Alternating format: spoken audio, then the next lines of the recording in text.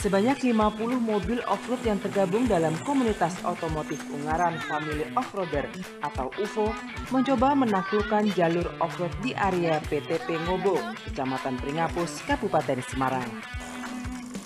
Terlihat mudah di awal, off-roader dipaksa harus bersusah payah melintasi trek hutan karet begitu sampai di tengah lintasan. Kondisi tanah yang becek membuat sejumlah off-roader harus menggunakan teknik khusus untuk menghindari seliban.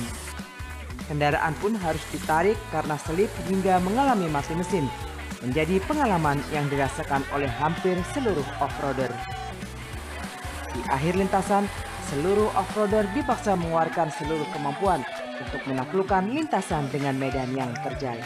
Kita bergerak di samping kita juga otomotif, baik dua kali satu maupun empat kali empat.